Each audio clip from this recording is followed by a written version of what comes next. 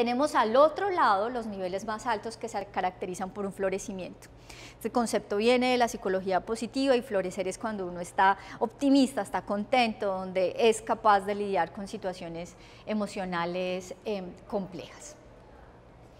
Cuando hablamos de promoción de salud mental, y la promoción de la salud mental se hace básicamente a través del sistema de salud y a través del sistema educativo. El sistema de salud promueve una educación en salud mental cuando vamos donde el médico, consultamos, o donde a través de las diferentes intervenciones que hace el gobierno conocemos de cuáles podrían ser los, em, los canales para acceder a tratamientos de salud mental. Pero el otro lado donde también se hace una promoción de la salud mental es a través del sistema educativo, a través de intervenciones positivas y educación positiva, donde cae una clase como este tipo. Entonces lo que se busca es mover la curva, que la gente pase de un mal estado de salud mental a un mejor estado de salud mental a través de adquirir muchas herramientas y estrategias para mejorar y gestionar mejor eh, sus emociones.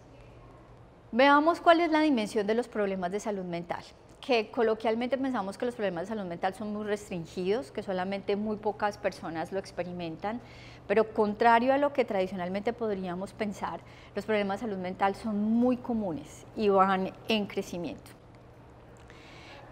En el mundo y a datos del 2018 teníamos que dentro de todos los trastornos que vimos en la, clasificación de los diferentes tipos de trastornos, el 10% de la población mundial padecía algún tipo de problema de salud mental. Esto son 792 millones y en el breakdown, en, la, en la división, el 9, alrededor del 9% son hombres, cerca del 12% son las mujeres.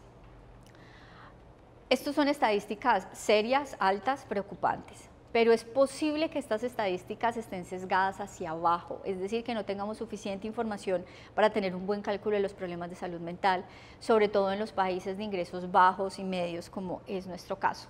No todo el mundo tiene acceso al sistema de salud, no todo el mundo consulta eh, por un problema de salud mental y los recursos que se asignan en el gobierno para la promoción, el diagnóstico y el tratamiento de los problemas de salud mental es muy bajo. En, nuestro, en países de ingresos medios y bajos solamente se asigna el 2% de los recursos del sistema de salud al tratamiento de salud mental. Entonces es posible que estos datos estén subestimados y que sean muchas más personas las que tienen algún trastorno de salud mental que no ha sido identificado o que no ha pasado eh, por, una consulta médica. En este momento no tenemos estadísticas nacionales que se recolecten a través de encuestas que nos permitan tener un número más aproximado. Sin embargo, sabiendo que esta estimación puede estar sesgada, el número es lo suficientemente alto para preocuparse. Sabemos de las enfermedades de salud mental que son muy comunes, que todos los experimentamos en algún momento, en algún momento de nuestra vida vamos a estar muy cerca de tener un episodio de salud mental que sea complejo.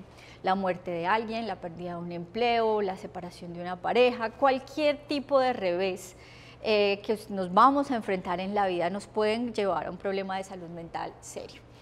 Eh, hay una estrecha relación entre la salud física y mental, como explicaba hace un momento. Hay un gran desconocimiento y estigma de los problemas de salud mental. Socialmente no hablamos ni de nuestros problemas de autoestima, ni de las depresiones, ni de las ansiedades.